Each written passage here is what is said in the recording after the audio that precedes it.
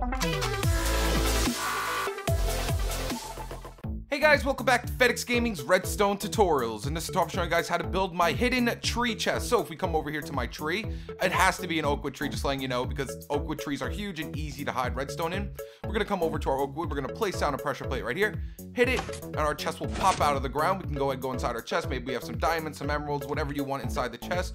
Just delete our pressure plate here, and when we're ready to leave, hit right here with our bow and arrow, and it goes back down, and our chest is completely hidden grab our arrow and go. Sometimes the arrow won't fall down, but most of the time it usually does. If it doesn't fall down, that's fine. You can still go ahead and, you know, hit it as much as you want. I'll do it again. See?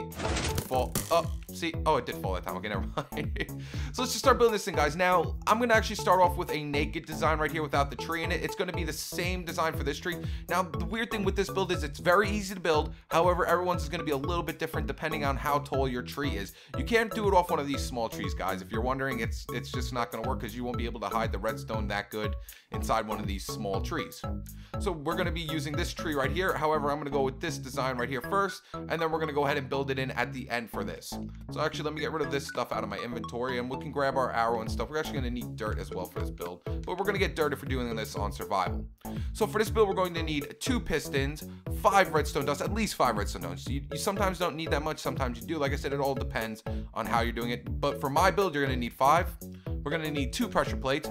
We're to need at least one sticky piston. Now, the sticky piston is, if you don't have sticky pistons right now, you can still build this. However, every time you use the hidden tree chest, you're to have to wait five minutes for that arrow to spawn. Or maybe if you just walk really far away, the arrow will despawn on its own. But the, the sticky piston is optional right now if you don't have sticky pistons.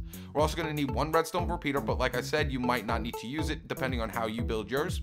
We're to need one rail, one minecart with a chest, and then I highly recommend bringing shears with you because while you're shearing off the tree, like the tree leaves and stuff to get inside your tree, you'll actually collect the bo uh, yeah, block. you'll actually collect the block when you're actually uh, digging out your tree. So, you know, you don't want to lose those tree leaves and all that stuff because we're going to end up wanting to put those back. So I highly recommend bringing shears and then of course just bring a few more oak wood, uh, oak wood with you so you can, you know, put more stuff in there for when you're actually putting your uh, redstone in. So right here, I just have like a nice little naked tree. So we're just gonna dig down three from underneath our tree. So go one, two, three. And then right underneath our tree, we're gonna dig down three, one, two, three, like that. Then right underneath the tree, we're gonna put a regular piston facing upwards like that. Put a block on top of it. You can use whatever block you really want to. You won't really be able to see it. I just like using oak wood.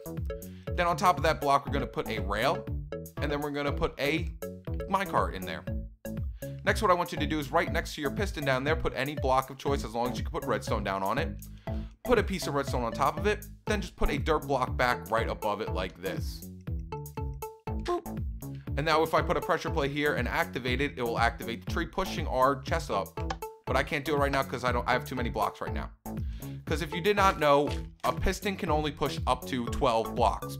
So pretty much what this build is for this tree over here, we're to be uh, going up at least 12 blocks to the top and we're to put our piston in facing downwards.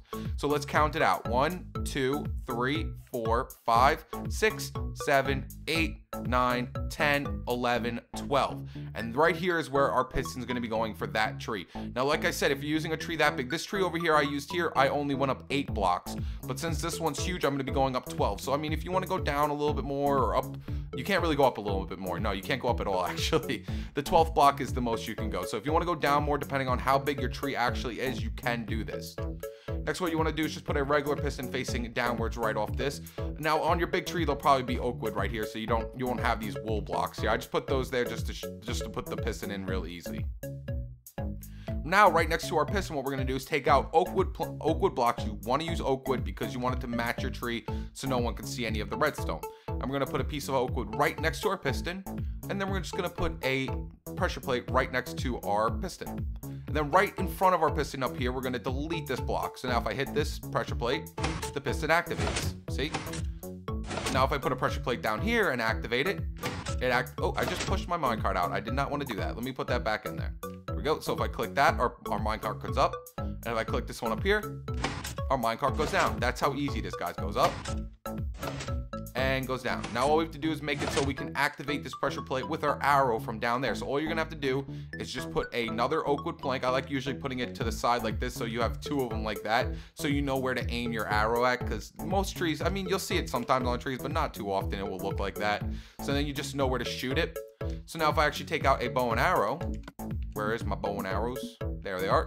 And we shoot right into the corner, right into the crevice of these two. As you see, the piston activates. Now, this is where that sticky piston comes in because the sticky piston will push this block down, thus deactivating this piston right here. If we don't have that sticky piston, this won't deactivate. But like I said, if you don't have the option for a sticky piston right now, you don't really need it too much. So, you know, you pick that up like that. So now what we have to do is just get power from this up to our sticky piston. So right here is where our sticky piston is going to be going. It's going to be facing down off this block right here. And all we have to do is just get power from this pressure plate to this sticky piston right here. So all you're gonna do is just come out this way with more oak wood. You have to use oak wood because that's how the tree works. And we're gonna put a repeater coming off our, our bleh, off our pressure plate. Put a block in front of it, another oak wood block with dust on top of it, and then just bring the dust over to our sticky piston. So we're just gonna bring our oak woods right over here and bring our dust over to our sticky pistons like that. So now that's it, that you're completely done. So I click it, it comes up, but then if I shoot it with my arrow, it goes down and see how it pushes it off right there. And see sometimes it'll hover in the air but most of the time it usually falls down depending on where you hit it from. But that easy though guys. You are completely done. But now i'm going to show you how oh, i missed. I'm going to show you how to build it straight off from a actual tree. So we don't uh so i don't just show you this and you go okay so i got to build a tree around this thing. No you want to actually build it straight off a tree. So i'm going to do it very quick guys. So i'm just going to dig down three. Then I'm gonna dig down three underneath the tree. We're gonna put a regular piston facing upward with a block on top of it. Then we're gonna put our rail, our chest on top of the rail. Then down here, we're gonna put a block, redstone dust, and then we're gonna take out our dirt block, put it right on top of the redstone dust, and that's where our pressure plate's gonna be going to activate it. Next, we're gonna count up 12 blocks. So let me just dig down three again. So one, two, three, four, five, six, seven, eight, nine, right there. 10, 11, and right here is number 12. So we're going to delete 12th block right here and put another regular piston facing downwards. Delete the block in front of it. Then right next to it, we're going to put a oak wood plank. Put a, ooh, I actually want to turn it the other way. Let me get it the other way first. No, stop. Come on. There we go. then we're going to put our pressure plate right here. So if I hit this, it'll activate our pressure plate.